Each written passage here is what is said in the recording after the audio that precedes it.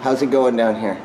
Oh, well, you know, just dealing with the stresses of everyday life here, um, which is, it seems like, it feels like it's an insurmountable amount of odds, you know? Like, Yeah. It's, it's hard to pinpoint it because it's like all the little aggravations of having these limitations put on you by a bunch of people that know you not at all and um, seem Yep. to think that they know better than you to take, like, you know, run your life for you, which is absolutely ludicrous.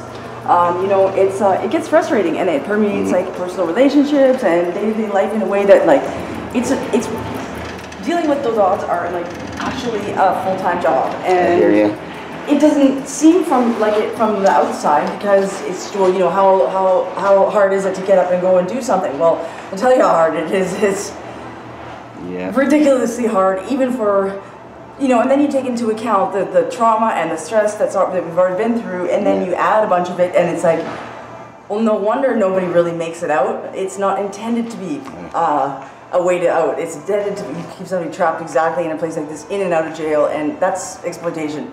As far as resources go, what's the number one resource you need down here on the front line?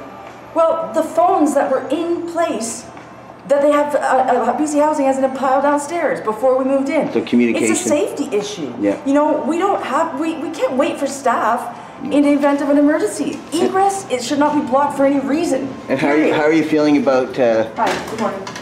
how are you feeling about the ID thing right now?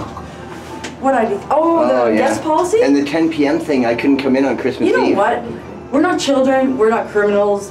They're criminalizing us and treating us like children. So, I mean, we're going to arbitration with it, period. So somebody wants to do a petition for you folks, and we're gonna do it.